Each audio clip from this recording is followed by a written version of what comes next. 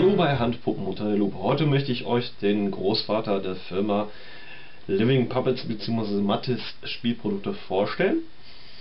Der Großvater ist eine 65 cm Puppe, somit gehört er zur Mittelklasse, wenn man so möchte.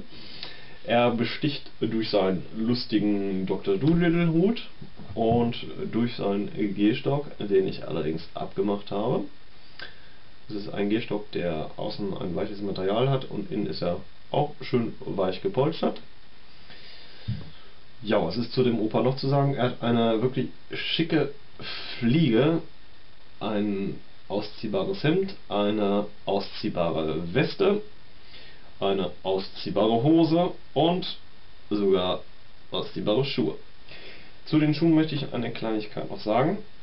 Und zwar ist es immer das Problem, dass der Großvater so irgendwie Step by Step aus seinen Schuhen rausschlüpfen möchte. Das ist ein bisschen nachteilig, aber ihr könnt das dadurch umgehen, indem ihr das hinten einmal wieder reinstopft und dann mit einem passenden Faden nochmal an dem Bein selber festnäht. Ja, der Eingang für das Klappmauer befindet sich wie bei fast allen Living Puppets im Nackenbereich. Und der Opa hat in seinem Mund, beziehungsweise der Großvater hat in seinem Mund noch eine bespielbare Zunge. Ja, die Arme sind beide auch bespielbar, sind bei mir ausgepolstert, da ich sie so gut wie nie benutze. Das war's soweit von dem Großvater.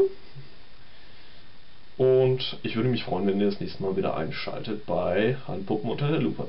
Tschüss.